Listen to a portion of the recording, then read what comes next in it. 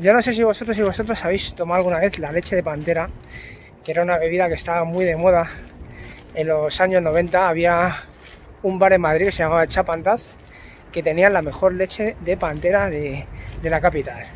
Vamos a intentar imitarla en versión vegana, porque la leche de pantera no es vegana. Y os aseguro que esto, si nos sale, es una bebida increíble.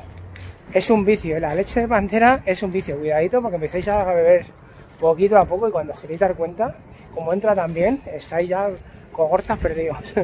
Voy a utilizar la receta de la leche condensada de Estel Vegana Madrid, porque uno de los ingredientes que lleva es ese precisamente, la leche condensada. Aquí tengo anacardos que los he tenido en remojo durante 6 horas. Vamos a utilizar un limón, aceite de coco.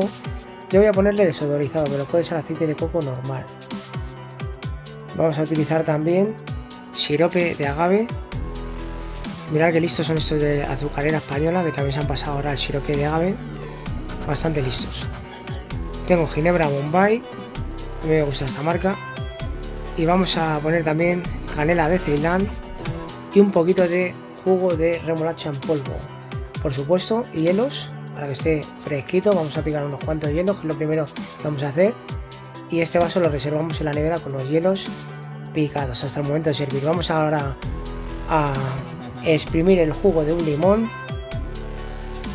Se lo pongo a mi vaso batidora con una cucharada grande de aceite de coco desodorizado. Vamos a ponerle también el sirope de agave como unas dos cucharadas, o esto ya al gusto de cada uno, yo le voy a poner dos cucharadas. Vamos a echar ahora los anacardos, aquí tengo medio vaso, y el resto, con el resto voy a hacer un queso con cebolla negra, que está buenísimo. Le ponemos medio vaso de anacardos hidratados, le ponemos un vaso de agua y media cucharadita de canela de Ceilán, o canela la que tengáis. Voy a poner ahora un cuartito de cucharadita de remolacha en polvo, solamente para darle color. Y ya hemos triturado, mirar, tiene que quedar así una mezcla, un poco espesa, tampoco demasiado.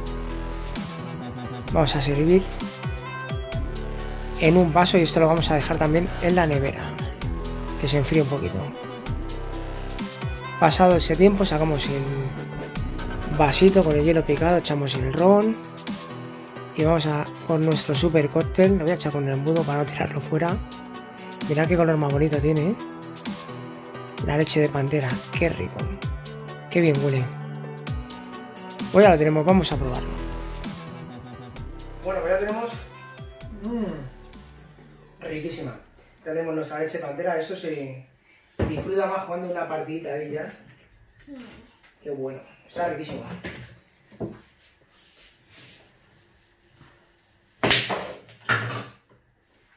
Y hasta aquí el vídeo de hoy, espero que os haya gustado. Nos vemos en la próxima aquí en Cocina Vegano.